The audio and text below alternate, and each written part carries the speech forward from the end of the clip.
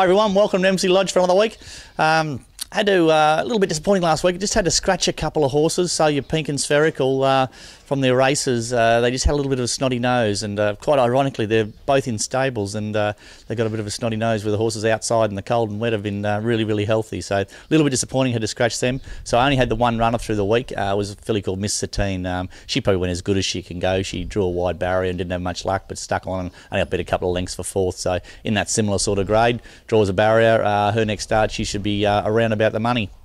Uh, runners this week will um, uh, once again there's a couple of horses that just got a little bit of a snotty nose so uh, I'm a little bit hesitant to uh, uh, take them to the races uh, so I'll just be really mindful and taking a lot of temperatures and for the horses we've got running, running. but we'll definitely be running Merchant on Sunday his work through the week was great he's now had two runs under his belt and he, we've given him plenty of time to get over him after a long break and uh, he seems to be right on target. Damien Oliver's going to ride him, and uh, if he uh, draws a nice barrier, I wouldn't imagine it's going to be all that bigger field. And on his home track at Geelong, uh, he should go pretty well.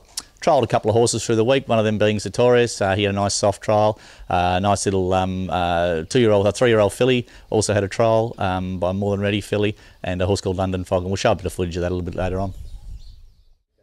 Uh, here's Sertorius. Look, he uh, began beautifully, put himself in a really good spot. Josh Cartwright rode him. Uh, he's running third or fourth early, uh, tracked into the trial really, really good and, and worked home under a sort of, a, I wouldn't say a stranglehold, but under a pretty soft riding there for Josh and was really good. He actually took a fair bit of pulling up. So uh, that was a thousand metre trial. He seems to be right on target now to uh, run on the on the 30th of August in the Memsie, and um, he'll have a couple of nice little short, sharp gallops now and uh, be all ready to rock and roll. He's a nice little three-year-old filly uh, by More Than Ready out of Countess Chloe. Um, hopefully her name will be through this week, but um, uh, seems to be have a lot of ability. Got a long way back. This was actually her first trial. Got a long way back and uh, steamed to the line. Um, uh, I love seeing horses trial, young horses trial like this. She uh, really, really uneducated and uh, seemed to do a lot right. There's a, a massive amount of upside for her. Uh, the big boy London Fog had a, had a jump out. Uh, wasn't going to trial him, but the way circumstances worked out, the best option for him was give him a jump out, and uh, he went good. Uh, Josh had to ride him pretty hard and to get the best out of him, but he runs second in the trial, and uh, he looks all ready to go the races. Um, you would think with this horse, when he gets to 14 or 1600 metres, he'll um, he'll uh, start to come into his own, but we'll probably step him out in the 1300 metre race or something like that first up in the next two weeks. Yeah, pretty amazing industry, our industry. Um, our stable apprentice, Josh Cartwright, uh, won the Country Apprentices uh, Championship again in Victoria this year, and then he had the excitement of going over to Sacramento. Uh, since he's been home, he's been a little bit crook, and uh, Josh was a guest speaker last night at the uh, Geelong Thoroughbred Club function, and uh, here's a bit of footage of what's going on with Josh at the moment.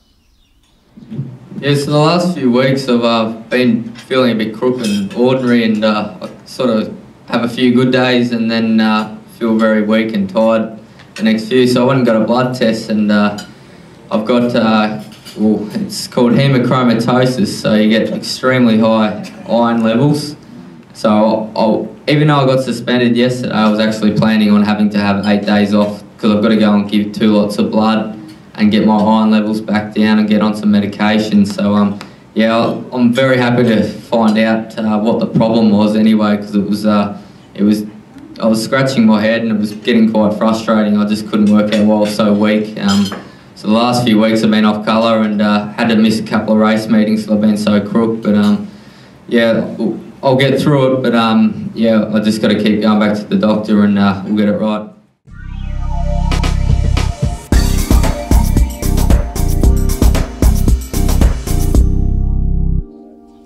Of Geelong, Darryn Lyons, was spot on with his tip last week. He's after Pete Sanders' record of three weeks in a row. Here's Darryn with this week's tips. Hi, I'm Daryl Lyons, Darryn Lyons' brother. Not really. Darryn's a bit crook today. He's asked me to step in for him. Go Geelong, giddy up. Go Geelong races on Sunday. Race six, horse two, Merchant. Isn't that a shop? No, it's apparently it's a really good racehorse. Giddy up. One of our great sportsmen clubs here in Geelong is the Geelong Briseis Club. Uh, next Wednesday on the 20th of August we have uh, Robert DiPierdomenico as the uh, guest speaker. Should be a great night. Contact the details below and come and join us for a great evening. That's it for another week at Emsley Lodge. Thanks very much for joining us. Go keep going to our website and uh, supporting the stable and seeing what we're on about. Um, I see the feel, bit of the coat starting to break on a few of the horses, so spring mightn't be too far away. A couple of young horses and uh, the good horse Sertorius is starting to get right up to uh, serious galloping now. We're only about uh, two weeks off, uh, really kicking off in the spring, so exciting time for all. Uh, good punting. See you next week.